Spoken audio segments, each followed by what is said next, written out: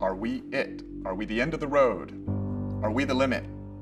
Are we the epitome of consciousness? Does physics place an upper limit of one to three to 400 pounds of matter in the form of a human as far as the amount of matter energy that can self organize into a conscious system?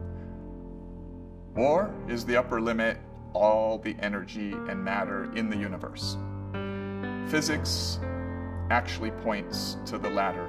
Physics would say there is no limit. Theoretically, any percentage of matter energy in the universe can theoretically self organize into a conscious system.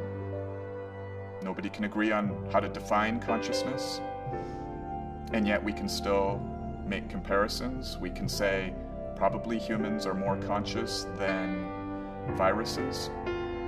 So we can then ask can a system be more conscious than a human?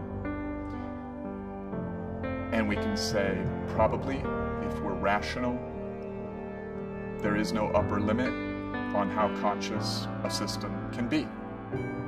So it leaves this very interesting, expansive possibility for the percentage of the universe that can self organize into conscious systems as we have, and no limit on how conscious it can become.